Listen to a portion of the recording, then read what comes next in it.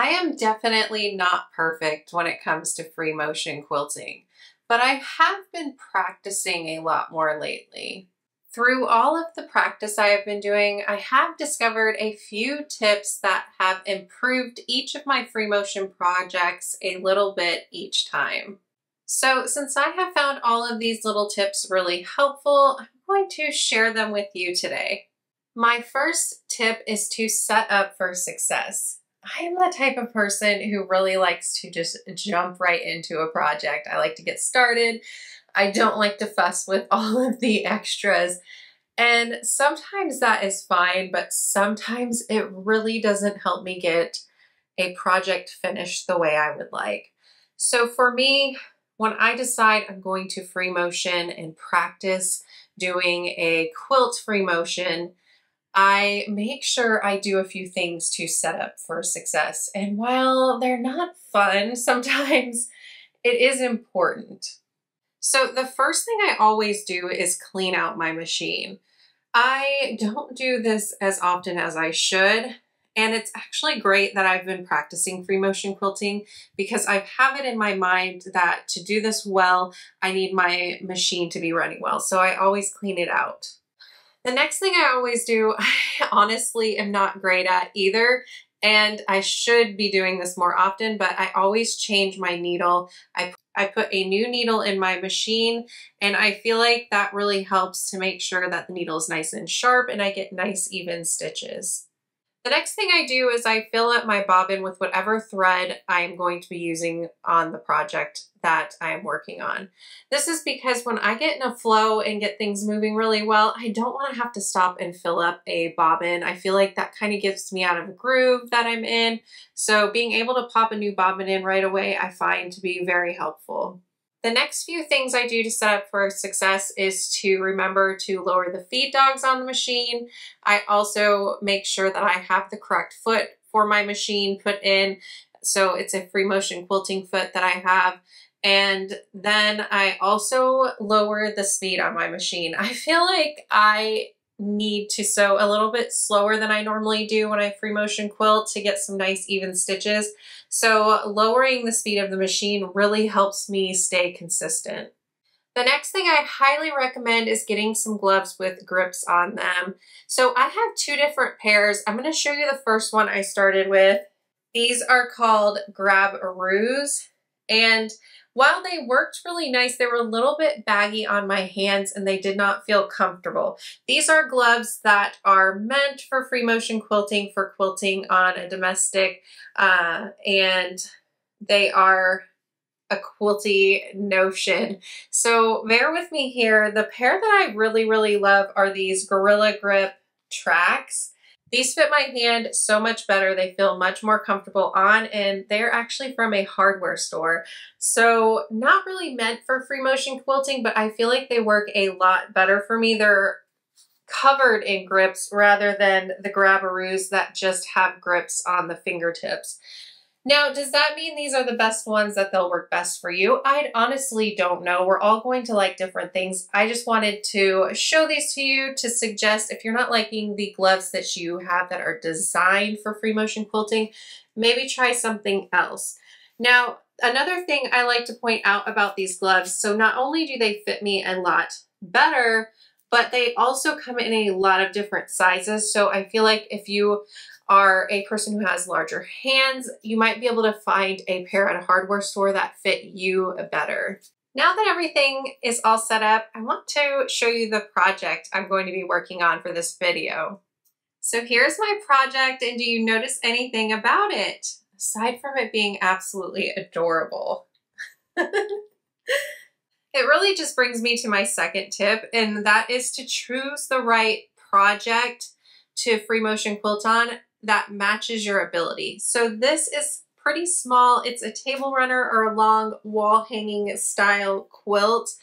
And it is perfect for me to work on and improve my skills for free motion quilting because it is smaller. And it kind of builds my confidence more too to stay within my comfort and ability when I'm free motion quilting. So you may have also noticed something else on this project, and that is that there are pins on it and Instead of using spray baste, which you may have seen me use a lot in the past, I choose to pin baste now when I'm free motion quilting. So that brings me to my next tip here, and that is to pin baste if you have noticed that your needle gets really gummed up if you are free motion quilting a quilt that you have spray basted. So what I started to notice was that a lot of the skip stitches I was getting and a lot of the um, kind of uneven stitches looked like they were coming because of my needle getting really sticky from the spray base that I use. So once I started going back to pin basting when I'm free motion quilting, things went a lot more smoother for me. So maybe try pin basting your next project that you want to free motion quilt on if you've maybe been spray basting in the past. Now my fourth tip for you today is to practice on a small scrap of fabric that you have set up just like you do the projects you're going to work on. So I have a backing, I have batting, and I have the top layer of fabric. Set it up and just practice a little bit before you jump in on your project. And I suggest doing this because you probably don't free motion quilt every single day. At least I don't. If you do, then you may not need to do this. But I feel like it's really easy to get out of the feeling that you get when you free motion quilt. The movement, the speed, all of those things are kind of ingrained in you when you start doing it. But when you're out of practice for a little bit, that feeling kind of gets lost. So practice a little bit, get comfortable before you jump into your project.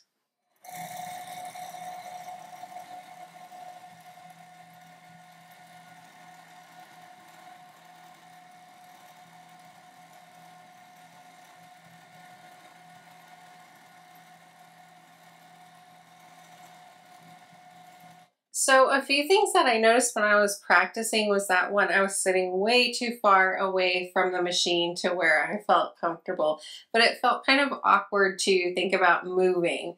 So I got to a, a stopping point where I knew I had to take out a needle anyway, and then I moved forward a little bit. So I'm gonna see if that position feels better for me. I'm also looking to see what direction I'm going because I already forgot.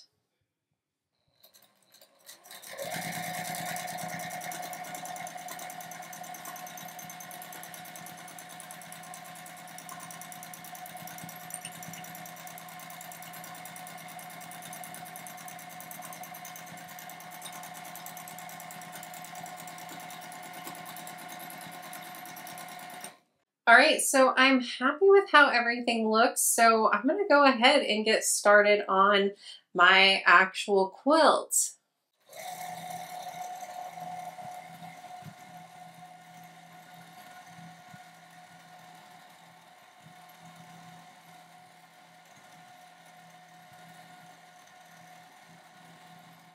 All right, so my last tip for you today was the hardest for me to figure out.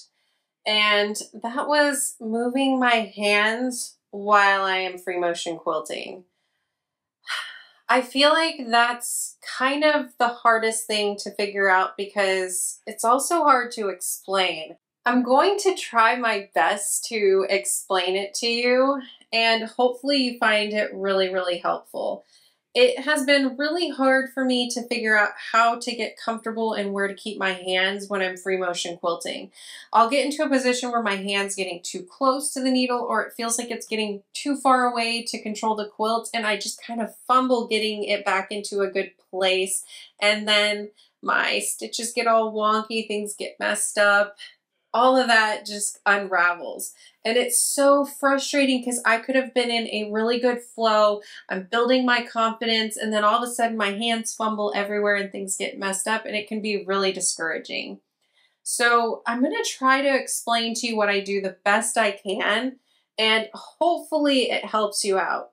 So I'm stopped right now, and I see a needle coming up, so I'm going to go ahead and get that out. It's not really a needle. Pin? Safety pin.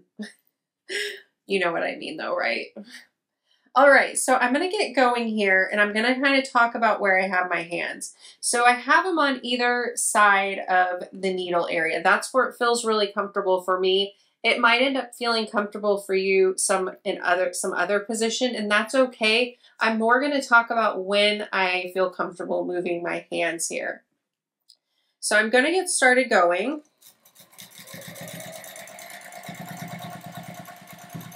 And if I feel like I need to move one of my hands, like I'm coming up on this one, I can move this one freely because the hand on the other side was holding the quilt in place for me. That's the hand that had all of the force on the quilt on it. So this hand's just kind of a guide. Now this hand is the free hand and the other hand is holding more of the quilt and guiding it.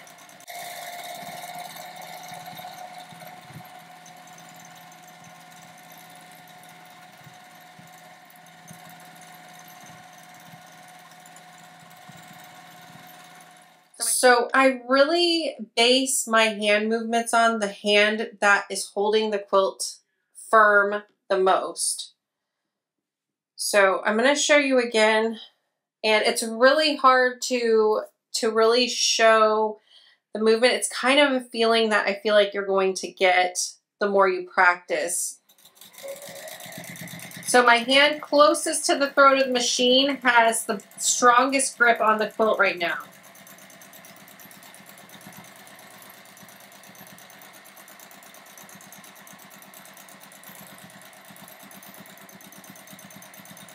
Now the hand farther away has the strongest grip, the hand towards throat.